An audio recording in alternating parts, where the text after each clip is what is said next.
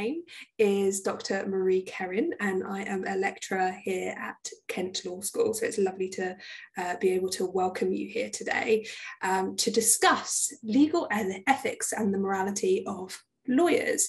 So this is a bit of a passion subject for me. So as, as a lecturer at Kent Law School, I teach on lots of different things. So if you do join us in September, uh, you'll no doubt uh, see me around at some point because I teach on things like introduction to the English legal system. I teach on critical introduction to law. Um, I also uh, teach on introduction to property sometimes.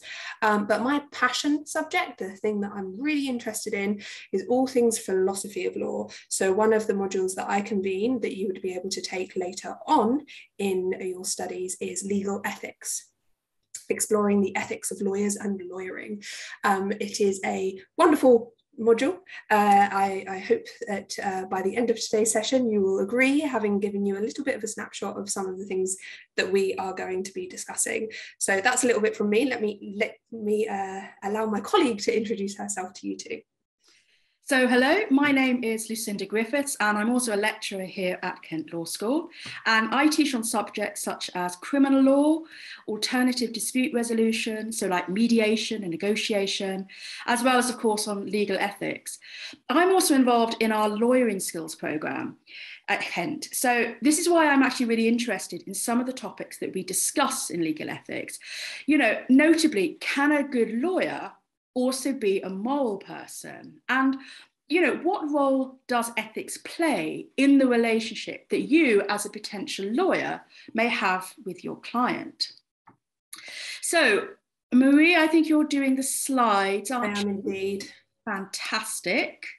Okay, so what we're going to do today is to introduce you to some of the key moral and ethical questions surrounding legal practice exploring some of the dilemmas that lawyers face in their roles and why they face them and you know what they can or should do about them. So to do this we're going to introduce you to some of you know just some of the basic ideas around what legal ethics is before taking you through the case of the washington torture lawyers. And we're going to ask ourselves can torture ever be justified. And we're going to do this within the context of legal ethics. So, the first thing that we want you to do is I'm going to ask you a question. And that question is when you think of legal ethics, what kind of things come to mind? So, in order to get your answers, what I'd like you to do is to open up another web page. And in that web page, I'd like you to go to the following address so www.menti.com. So that's M E N T I. So once you've got to the web page, it should ask you for a code. And that code is 56248722. Okay, 56248722. Sorry, now, sorry, Lucinda. Sorry if you if you look on the screen, uh, the code is actually updated. So the one that you have read out is not the current one. I'm sorry. okay. Do you have the current? The current one is two eight six eight seven six eight seven, and it oh, is on the screen for everybody to see as well. But if you're in different tabs, uh, just to confirm, we're going to menti.com, uh, m i m e n t i.com, and we're using the code two eight six eight seven six, eight, seven. It's old eyes, Marie. I can barely, I can barely see the screen in front of me. Yes. okay. Right. So again, that question, when you think of legal ethics, what kind of things come to mind? What is legal ethics? So we're going to give you a couple of minutes to see how many responses you can give. Okay. I'll, I'll add to um, if you do have any trouble with it, just pop your answers as well in the chat. Mm-hmm. Um, and we can we can also discuss things in the chat. I think the chat, just to confirm with everyone, I think we can see your responses, but not everybody else can see your responses. So we will, if you use the chat, um, we will just uh, read things out, but we'll keep everything anonymous. So we won't include your name in it.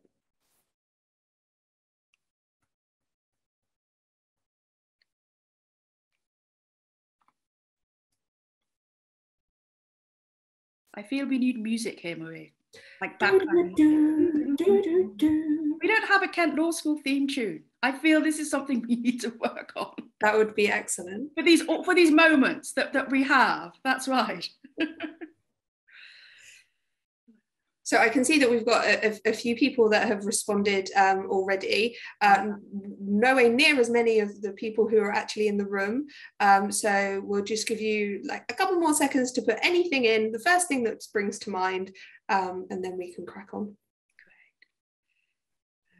Oh, we've got something in the chat. This is good. So we'll, okay, well, let's wait till the, for the Mentimeter results and then. Cool. Okay, so Let me see if I can share our Mentimeter results. Hooray, oh, it worked. Hooray. That's it. And it's big enough that we can see it. This is good. Right. Okay, so let's have a look. So the majority of you talked about integrity. So when you think about legal ethics, it's about the integrity of lawyers. We've also got people picking up on this idea of morals which is really important, especially when we think about what ethics actually are. We're seeing professionalism, which is good. Again, you know, legal ethics, is it just about sort of a legal code? You know, is it just about the, the solicitor's regulations? So that's really important that there's that, that recognition of that. Again, morality within the law, justice as well. That's quite an interesting one, isn't it, Marie? I think that, that there's that relationship there. I'm, I'm, I'm really interested in, in people picking up on this idea of the morality of the law because one of the things that we will look at today a little bit actually um, but what we also are really interested in exploring in legal ethics is mm. is there a difference between like the morality of the lawyers versus the morality of the laws in thinking about legal ethics. And we'll definitely be coming on to that later. Um, somebody else lucinda in the chat has said that ethics regarding the use of the law although people believe that legal ethics is about the ethics of lawyers which i believe that it is not. And so again that is touching on what i was just talking about there. Um, is it about the ethics of the lawyers themselves or is it about the ethics of lawyering and, and, and, who creates that? Who who sets what the the ethics are you know exactly. and you need to be moral to be a lawyer? I mean that's that's a big question that we look at. It's a huge question that we look at. We're not going to be able to cover that today but it's a, it's like you say it's really interesting that you guys are like picking up look right or wrong you know the codes of conduct. These are all ideas that you know that we can associate with this idea of legal ethics for one of the assessments on this module, uh, on the legal ethics module at KLS um, this year, we actually asked the question, can a good lawyer be a good person? And so that was a very interesting essay for the students to be exploring.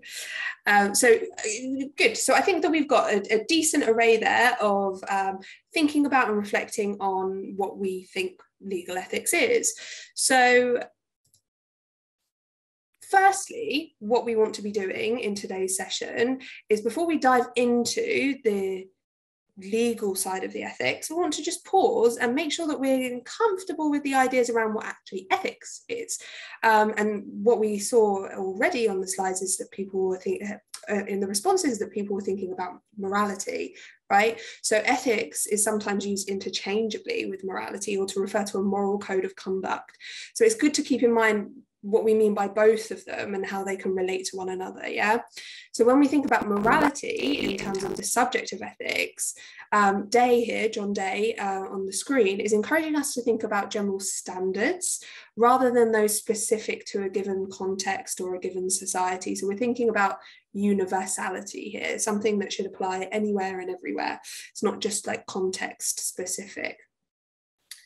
Moral theories then are often uh, concerned with prescribing action. And so, one of the things we're thinking about when we're prescribing action is we're thinking about what we ought to do or how we ought to behave.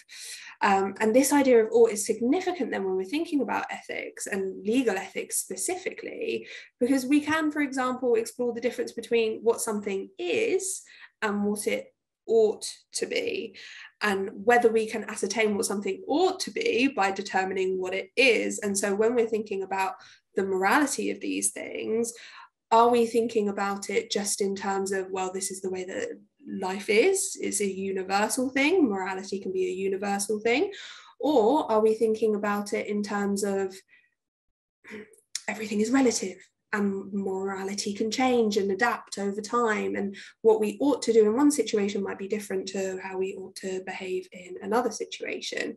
Um, and we can see that as well through the um, quotation that we have about ethics on the screen here from Deigh where he says that its primary aim of ethics is to determine, to determine how one ought to live and what actions one ought to do in the conduct of one's life. And so when we're thinking about legal ethics later on, we'll be coming onto that and working out how that works when we're thinking about lawyers as, as ethical beings, right? So before we get into the legal side of things then, it's helpful for us to reflect a little bit more on these different ideas around morality, just so we're comfortable with what we're thinking about. So we're going to introduce you to two broad but very differing ideas around morality. So the first one is what we would call deontology. So this is very much concerned with duty, and deon from the Greek means duty and telos actually means goal. So we're thinking about that goal of it being about our duty. So for deontology, the notion of duty then is central to the rightness or wrongness of an action. And it is determined by the action itself rather than by the consequences. So that means I can do a good thing in and of itself. It doesn't matter what the consequences are of my action. As long as the action I performed was good, then if I'm a deontologist, I'm on the right track. By complete contrast, then, we have consequentialism, or what is also known as teleology.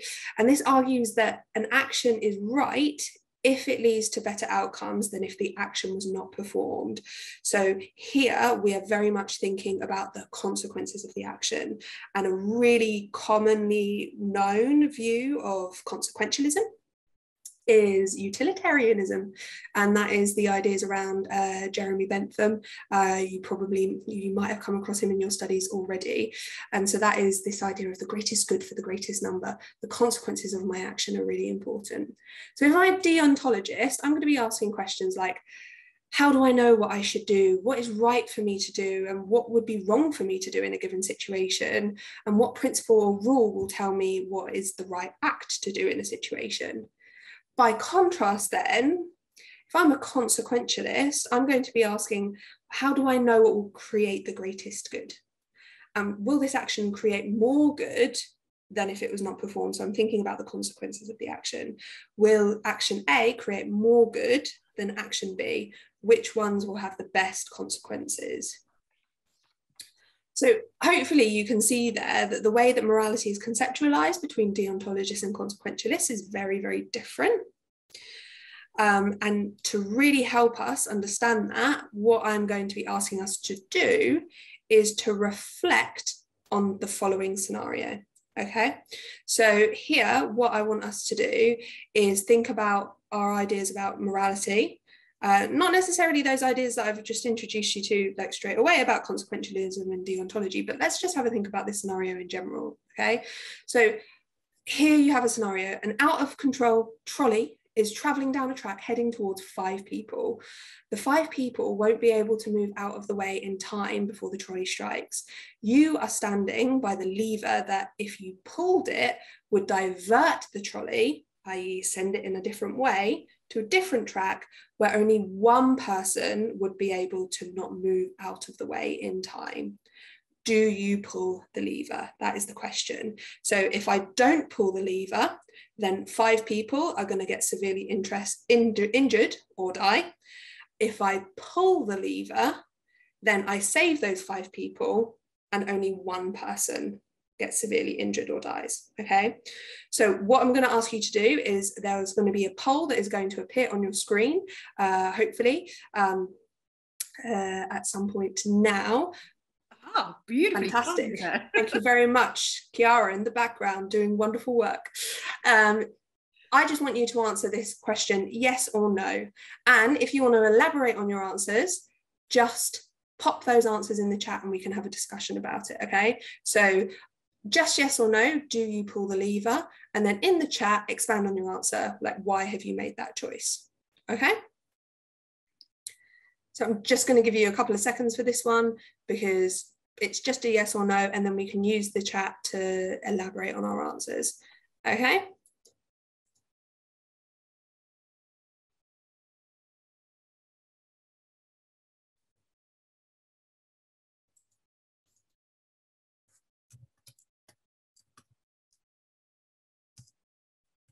Getting stuff in the chat already. That is good. Good, good.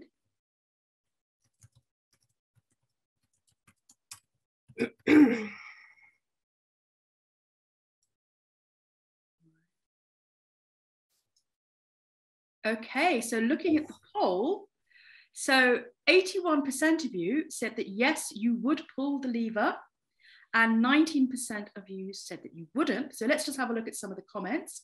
So some people are saying only one person would get severely injured instead of five. Better to save five lives and sacrifice the one for the single individual. And the interesting, yes, you should pull the lever because you're going to perform an action either way. So you should choose the one which does the least harm. So I think getting a sense from, from these responses is that the majority of you would actually pull the lever. I'm just wondering if there's anybody who said they wouldn't. Let's have a look. I'm interested oh. in um, the person who said that it was an action either way because yeah. is an inaction an action? action? Because if I do nothing, am I actually acting? In well, in in in law, in certain subjects, actually an omission, not acting, does actually make, make you liable. Actually, somebody's put here, I don't want the moral responsibility of having killed one person. So they're happy to, to, to plow down five. I like that. I, I we find that students uh, get more violent with each year. Fantastic. We had some brutal responses last year. What have we got here?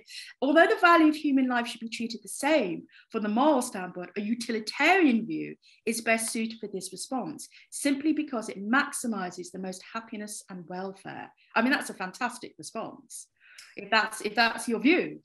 Really, really reflective. And mm. what i what i liked as well about the discussion there lucinda is somebody saying oh well I'm, I'm either going to be responsible for the five lives or i'm going to be responsible for the one life. And uh, i think that maybe a deontologist would disagree in the sense that they would they could argue and, and one could argue that actually mm. i'm not i'm not responsible for the five because you know that's that's got nothing to do with me. It wasn't my trolley it wasn't my problem. And i'm not responsible for five yeah. But i am responsible for the one but this is a fantastic. Maybe five working together would be able to stop the car or reduce the speed. Now this person is a born lawyer. That is a born lawyer. Like how am i going to get around that one? We are getting some brilliant responses in the chat you know? But so, again it's looking at that relationship i think between you know the extent of the, the, the moral kind of damage that you're doing in making these sorts of decisions. Yes, absolutely. I, I agree, and, and definitely thinking outside the box in terms of what we can can and can't achieve in this. I, I really love that. Um, and so I've asked this question of students a, a, few times in the past, and it doesn't surprise me that there was that kind of 80 20 ish uh, split going on um, because we're often feel like we should do something to prevent the deaths of so many people, right? Um, so what I want to do is just slightly change up the scenario now, okay? And so instead of the the five and the one, uh, so we still have the five and the one, sorry, um, but in our new scenario, imagine you now know the person on the tracks. In fact, it's your sister. So that one person that you're going to pull the lever for uh, and kill or severely injure is your sister. There's going to be another poll that is going to come up in a second, and we're asking you the same question, right? Do you pull the lever or not? So, five strangers, one person who you know, and they are your sister. Do you pull the lever? That should come the chat. The, the poll will appear soon. Should. And in the meantime, please use the chat to expand upon your answers. Okay, here comes the poll. Excellent. Do you squish your sister? So we're already getting stuff in the chat, Fab.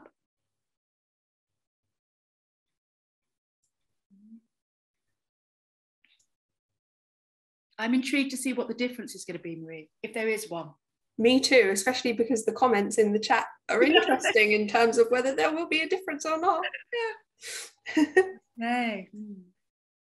So just a few more seconds to to answer uh, this poll, um, and as I say, uh, add your comments to the chat in terms of why you made the choice that you did.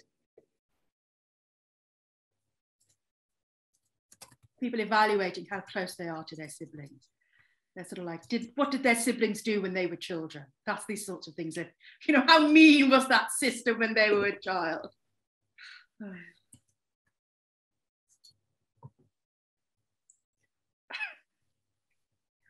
Okay, I think the results are going to come. Oh, interesting. Okay. So this time, only 38% of you would pull the lever and 63% of you wouldn't. So it does seem to make a difference. So come, some of the comments here, not really the closest with my sister. So it's still mostly a numbers principle.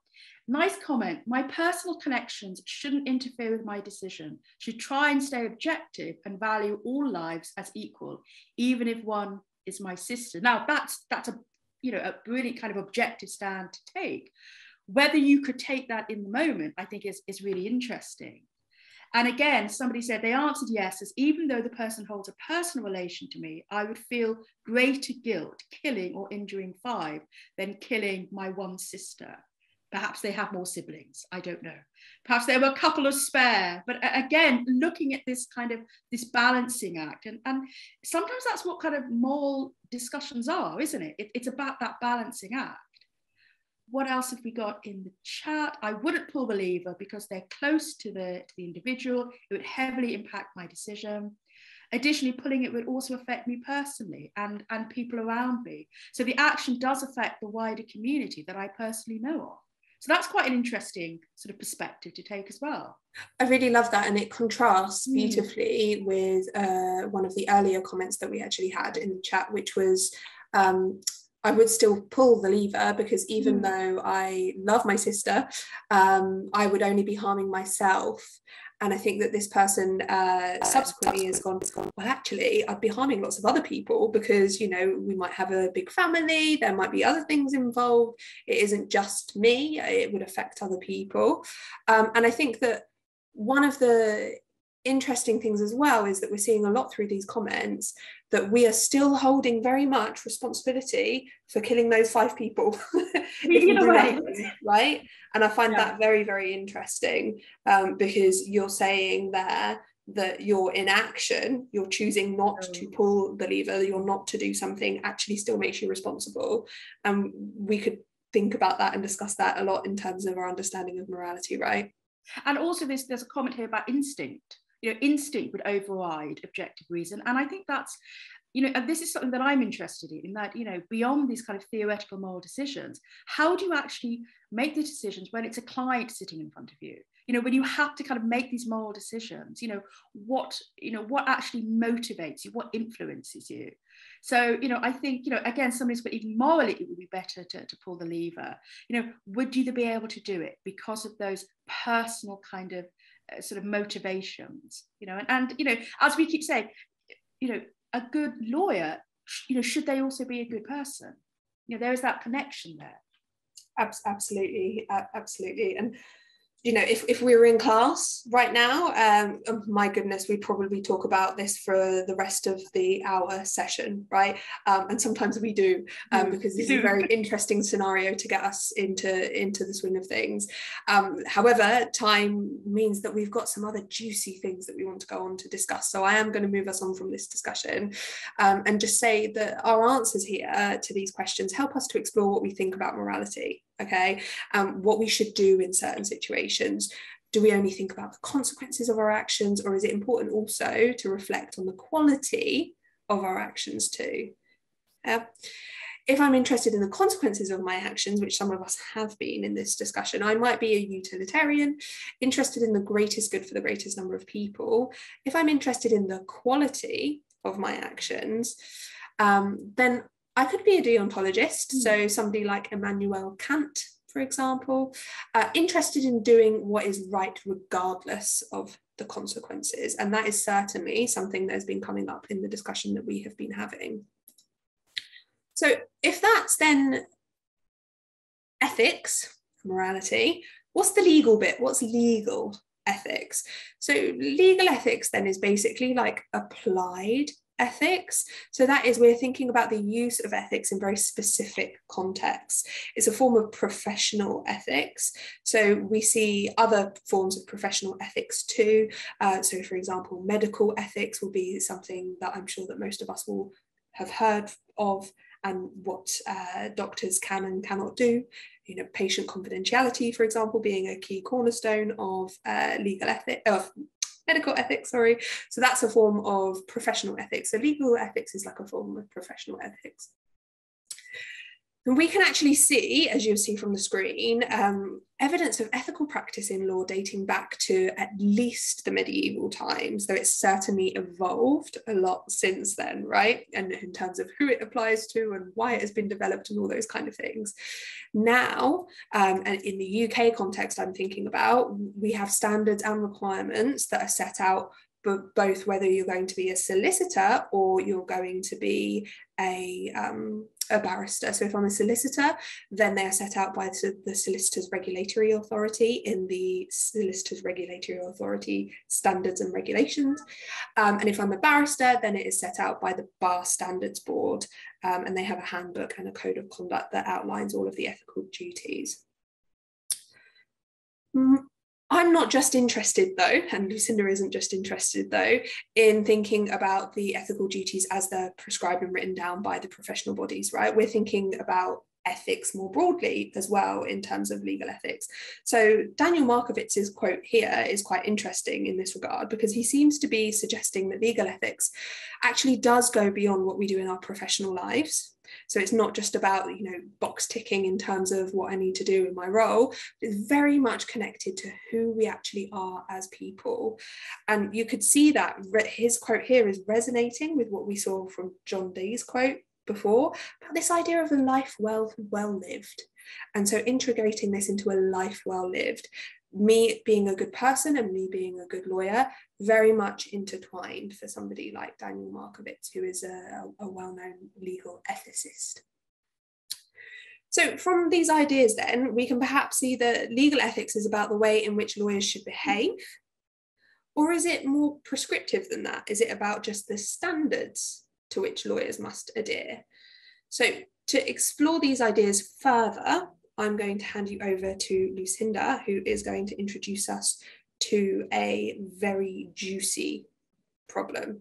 Um, people are asking some questions in the chat. I'm going to come back to them um, at the end, and I promise that we will make time to, to answer. Okay. Okay. So do send your questions to the chat. yes. okay. So what we want to do now is we want to turn to a second scenario that's just really going to kind of get us thinking about sort of the, the morals and underpinnings of these you know legal decisions.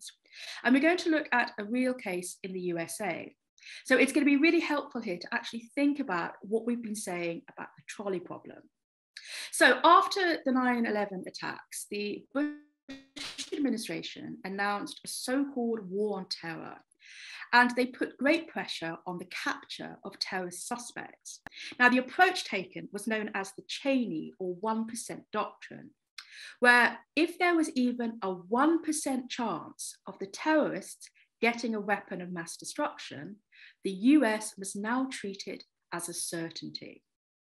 Now, this is relevant for the moral argument because it's similar to saying, well, you know, imagine a terrorist has hidden a bomb that will kill hundreds of thousands. This will push people, you know, towards justifying acts that they would normally consider sort of morally wrong. Now, one of the sort of uh, a researcher in legal ethics, David Luban, he says that every interrogation becomes a ticking time bomb case. And ticking time bomb cases are the one situation where many people who would otherwise balk at torture reluctantly accept that breaking the taboo is morally justified. So, what we're going to do is we're going to look at the case involving the US government lawyers in the attempted justification of torture on detainees. So, you know, Guantanamo Bay and later Abu Ghraib. So, if we can just go to the next slide. Thank you, Marie. So, in this situation, the CIA was under a huge amount of pressure to target and catch these suspected terrorists. And they were keen to push their interrogation of the suspects in custody that bit further. But, you know, they were faced with, with legal prohibitions. You know, there were certain laws that said they couldn't do certain things when interrogating people suspected of doing something. So, for example, the International Convention Against Torture prohibits torture, which is defined under Article 1 as the intentional infliction of severe physical or mental pain or suffering on someone under official auspice or instigation. Whilst Article 2.2 holds that no exceptional circumstances whatsoever, whether a state of war or a threat of war, internal political instability, or any other public emergency may be invoked as a justification of torture. So, looking at this, the law looked pretty clear. You know, they cannot torture people. But it is a little bit more grey than that because, well, what do we actually mean by torture? Now, it might seem from the, the above quote that, yes, it's clear what torture is. So, okay, let's suppose there's a question. What do we mean by severe torture?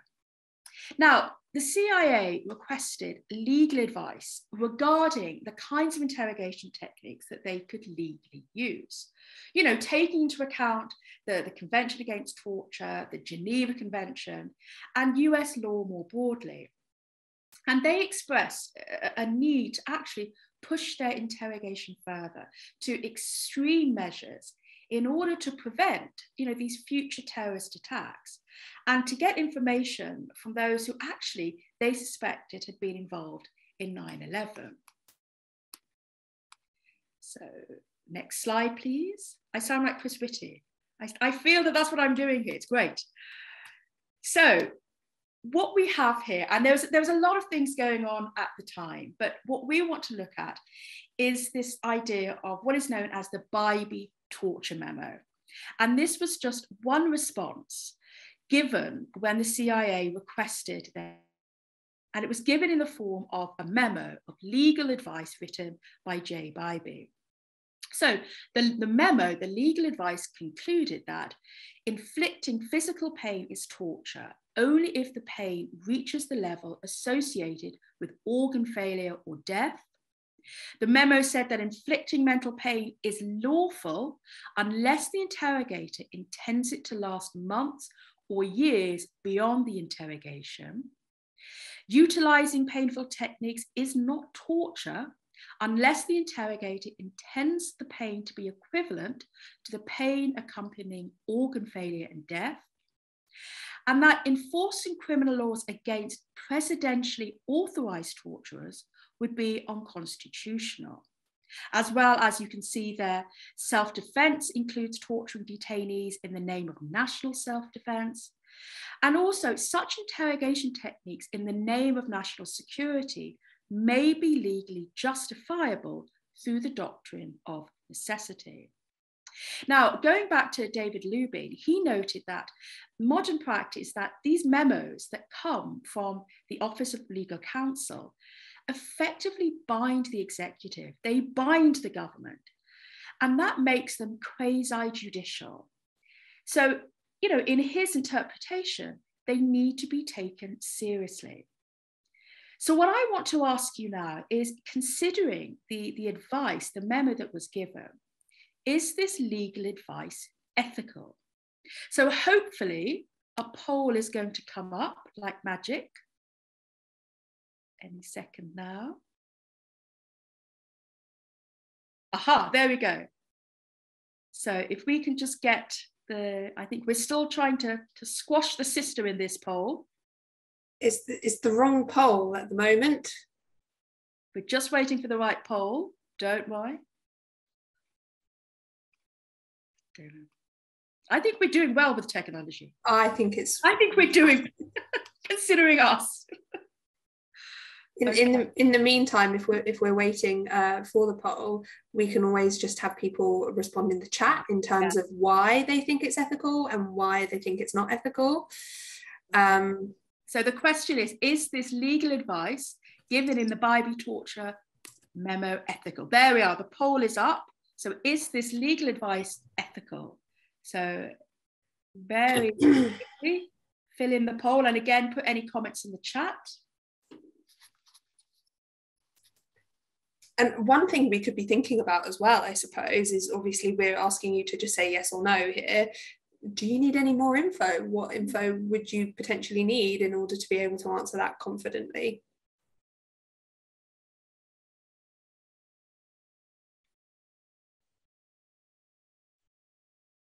it's going to be interesting to see whether you know are you thinking about sort of a deontological position when answering this or consequentialist you know or you know just or even just a gut feeling what is your your sort of feeling or whether or not this is ethical or not? Now do we have the results?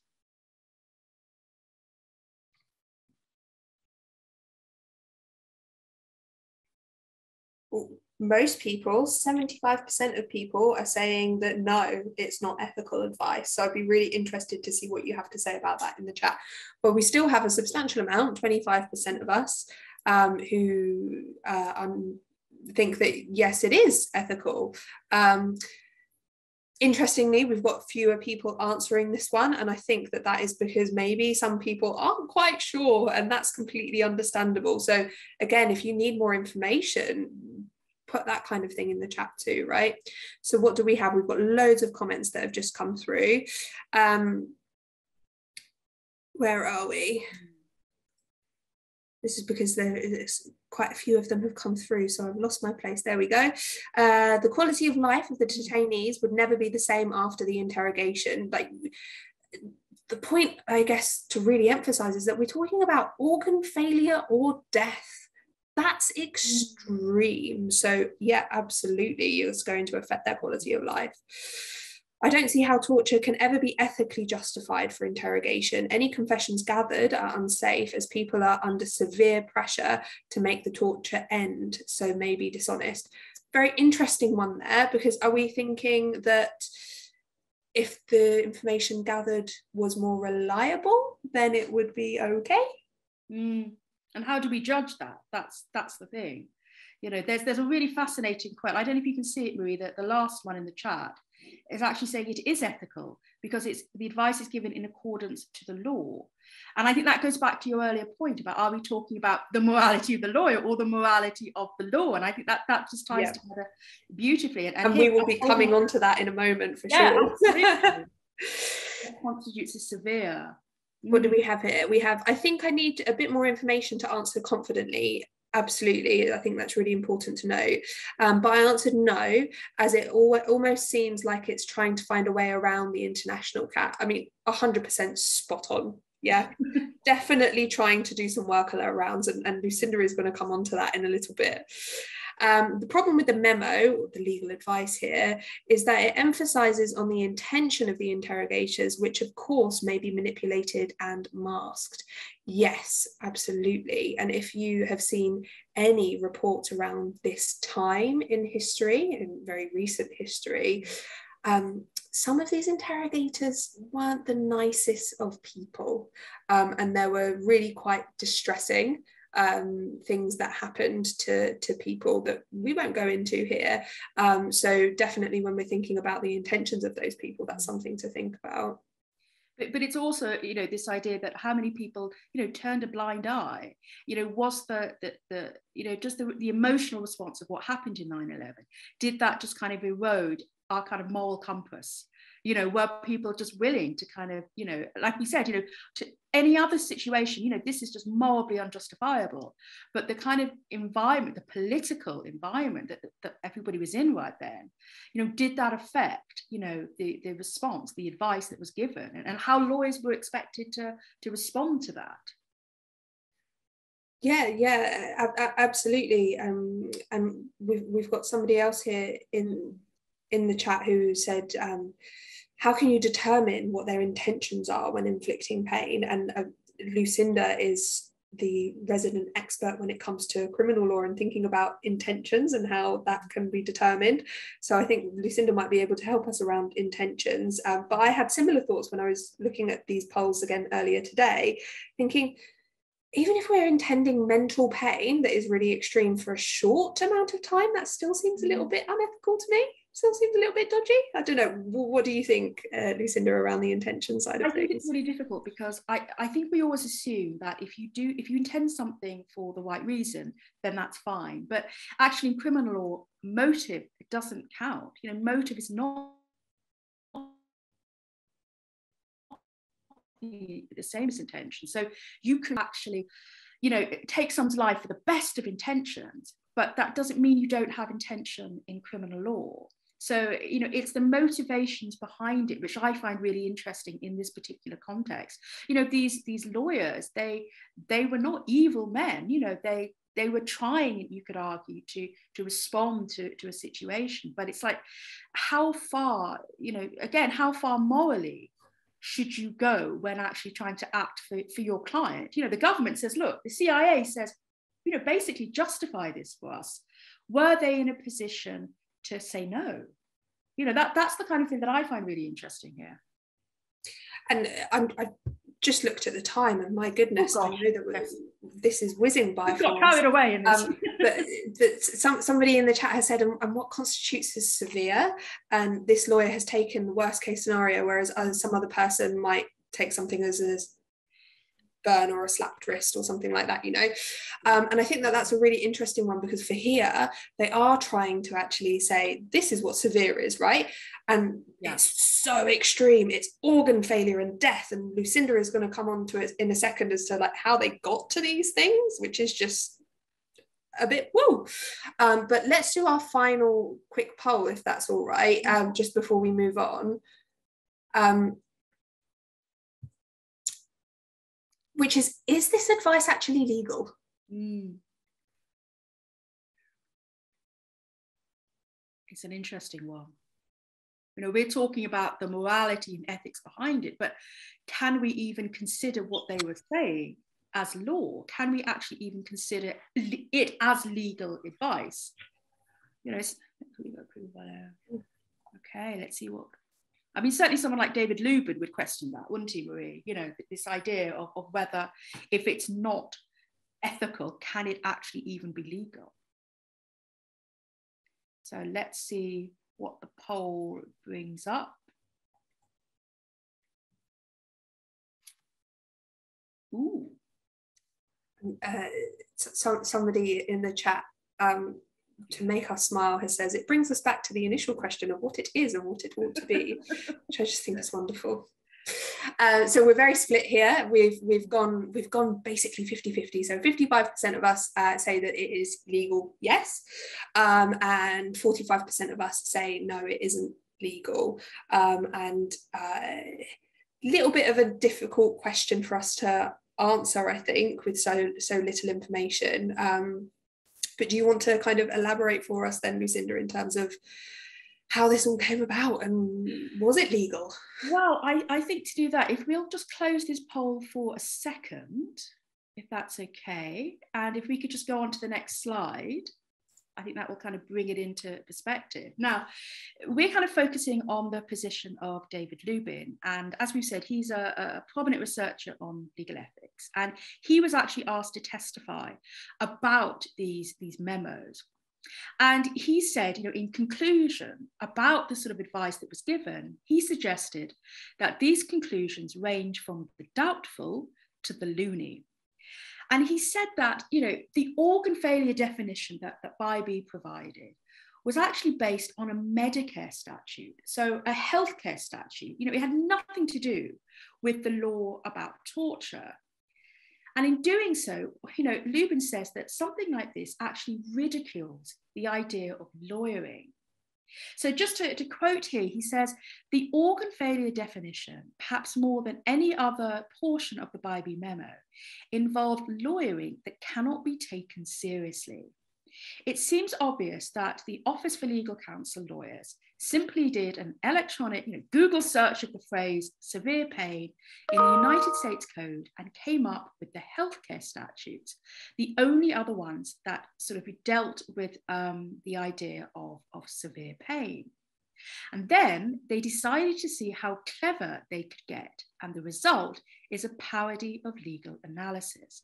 And I find this really interesting because I think it says so much about what lawyers do or what they're perceived to do you know everybody kind of has a view of lawyers and i think this is this is really telling of this idea you know how clever can a lawyer be to sort of get their client off and i think the fact here that in terms of trying to justify their decision.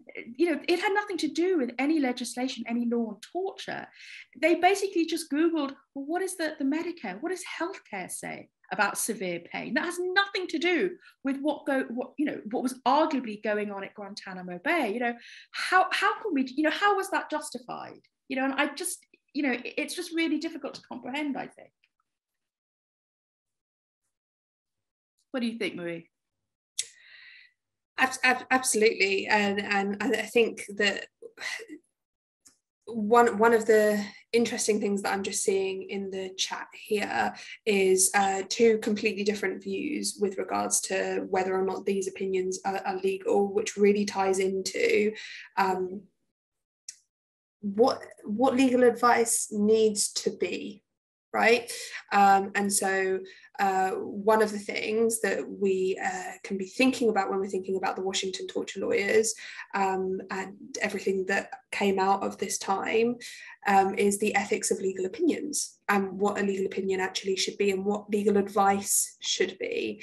Um, and we should, you know, just reiterate here before we go on to that point that um, it was actually found that Jay Bybee's memo was like fully not okay. And so it did not stand as legal advice. However, that being said, a number of further memos, more legal advice was produced that wasn't as extreme as Jay Bybee's memo, um, but did certainly allow for things that we would probably still feel quite uncomfortable with, given what yeah. we have discussed already in today's session um, amongst us in the chat which is sort of quite interesting looking at the poll there that actually there was kind of this this 50 50 split because actually it, it you know yes that particular memo was not considered lawful or legal advice but that didn't mean that others weren't yeah yeah and and, and it fully ties into what our understanding of legal advice is. So, uh, two great opposing comments in the chat that I'm just going to read for us. So, the first one is that I think it is legal to give them this advice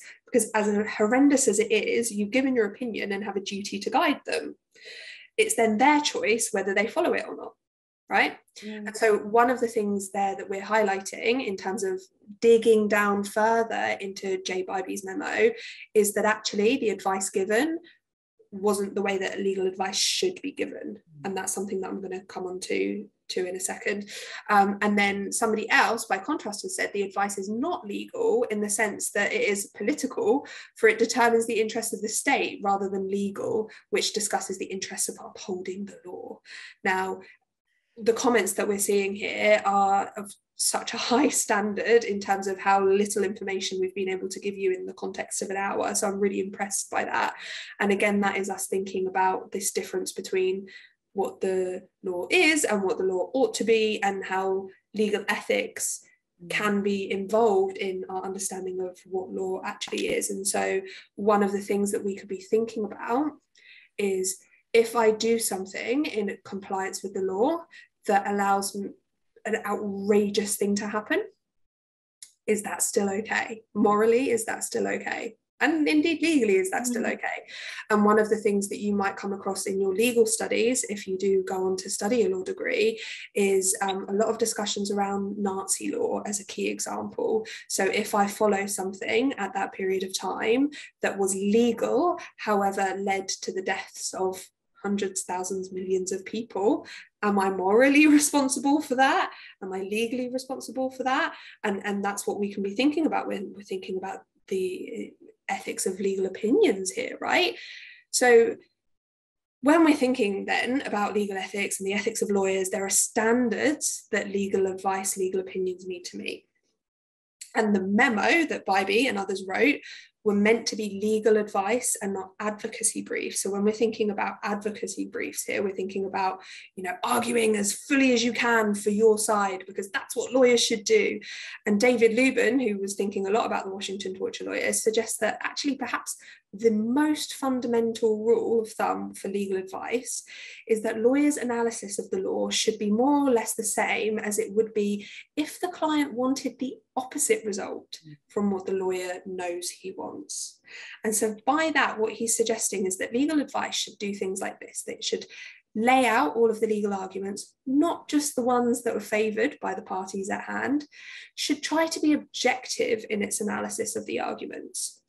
It should use cited legal authority honestly, so it needs to be reliable, none of this stuff that we've just seen with Medicare that Lucinda's just been talking to us about. And it should also be clear about where it fits on the bell curve. So if it's a non standard view, like if they're trying to really push things, they should be clear about that in the legal advice that they are given. Otherwise, it's not considered to be ethical. So one way that David Luban puts this that we just think is a beautiful way of conceptualizing it is considering the lawyer as absolver. So, you know, if I'm absolving someone of sin. And he called this a CYA memo, which is basically his idea that the torture memo is just doing this. It is covering themselves so that they could avoid responsibility by saying that the lawyers had said that it was okay. So for the person in the chat who was saying, you know, it was their choice whether they follow it, like yeah. So they they actively were putting pressure on the lawyers to do this stuff right because they wanted to cover themselves. So for the legal ethics of opinion writing what is required is honesty objectivity and non-frivolous arguments regarding regardless of the subject matter. And so not just trying to you know act as an absolver and, and trying to cover their their bums as it were. Um, so generally um, so Luban then is here placing great emphasis on the honesty of the lawyers in writing legal opinions, but does acknowledge that that will only go so far because it does rely on the law itself not being cruel. And that's something that, you know, I'm touching upon there with thinking about you know, Nazi laws and other laws that we could find examples of. But generally, societies these, day, these days, they do prohibit torture. They don't allow torture or cruel or inhumane, degrading treatment. So, writing then an honest legal opinion to allow for such acts as they did, in stark contrast with a lot of the law of the time, um, therefore results in lawyers, as, as Luban puts it, betraying their craft. So he considers this to be, you know, a real high sin. It's very unethical and it should be avoided um, at all costs. And I actually think this, this kind of ties back into to what we want you to take away from this session is that, look, there are lots of theories and ideas around law and morality and legal ethics. But you know, what we want you to think about is should there be a relationship between law and morality and law and ethics? And what kind of relationship should that be? And you know, these are questions that you know they are relevant today when we consider, you know, just what Marie was saying. You know, what motivates the lawyer? Is it about the duty to your client? You know, if your client instructs you, you have to, you know, you have to follow them. And okay, but what if your client isn't a particularly moral person? You know, are we asking lawyers to sacrifice their own principles in, in, in their duty towards their client? So if we think back to sort of the Bybee memo, you know, can we ever justify the sort of advice that was given on the grounds of you know, public interest or even sort of political expediency? So, you know, how do we balance being a good lawyer and being a good person? And you know, what do we even understand by those terms? And it's these sorts of questions that you know we do try and explore in this in this course. You know, going beyond the philosophical discussion and potentially the, the sorts of moral or, or ethical code that you as lawyers, you know, should potentially ascribe to when you're practicing. So it's these kinds of general ideas that we're we're sort of looking for from this from these sessions.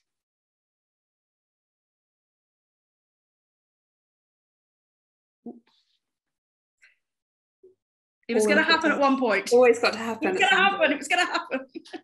I did unmute myself. Um, so if you want to, basically, this hour has gone super duper fast, and thank you all for joining us. Right, um, it's been a pleasure to speak to so many of you um, and to get such interesting insights. Um, so, firstly, before I forget, there was a comment in the chat, and I can't find it now because of how many um, comments there now are, which is great in and of itself.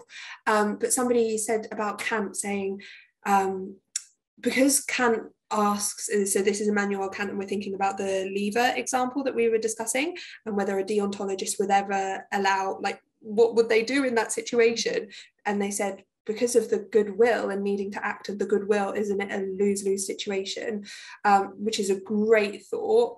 Um, we didn't have enough time to go into Immanuel Kant's ideas, um, but Immanuel Kant does talk about similar kinds of things.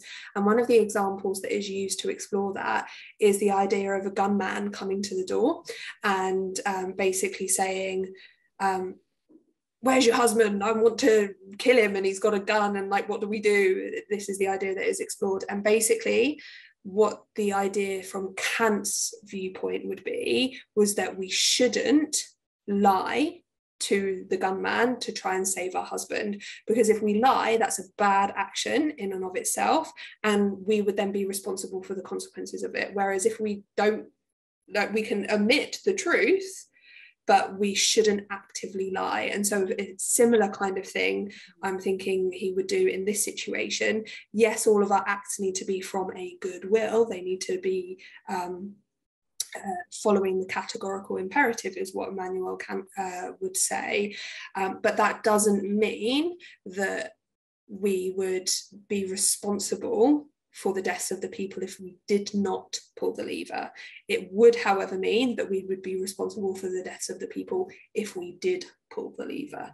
And so we could talk about it at length, but I would get the feeling that Immanuel Kant would say we shouldn't pull the lever. Um, but an excellent comment and an excellent thought. And I would just encourage everybody to read up a little bit more on Immanuel Kant and what he's thinking around uh, uh, duty to think about that in more depth. Um, so I just wanted to make sure I answered that. So very, very quickly then, um, if you want to learn more about any of the things that we've been talking about um, today, uh, firstly, you can contact Lucinda and I, like we can chat to you and that would be wonderful.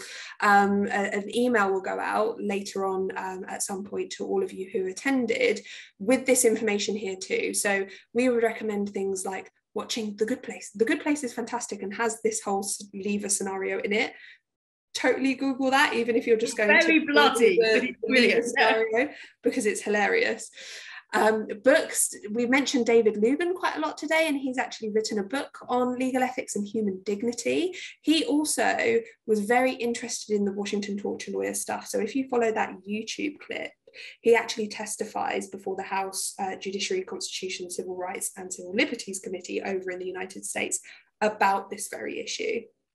And then the other thing I wanted to highlight is if you go onto that website, the Law Gazette, it is the Law Society's newspaper basically, and they always post up to date news about who is getting into trouble and who is being investigated for all sorts of naughty ethical things. So um, if you want to keep up to date with those kind of information, I, I would recommend that you check out the Law Gazette. All of this information is going to be given to you um, in the correspondence that my colleague sends out after today's session, um, but you can find us on socials as you already know.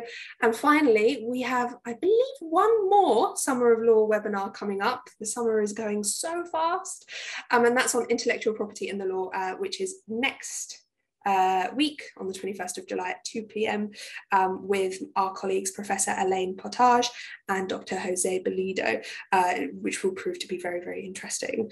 So, with that, Thank you all so much for coming. It's been an absolute pleasure to talk at you for so long, um, but also for you to engage so well um, with the chat. It was really, really great to hear all of those uh, comments. And I, for one, would be super excited to be learning with you next year if that is something that you were going to be doing. Um, but we wish you the very best of luck with whatever lies ahead for you. And thank you for joining us. Thank you, guys. Thank you. Bye.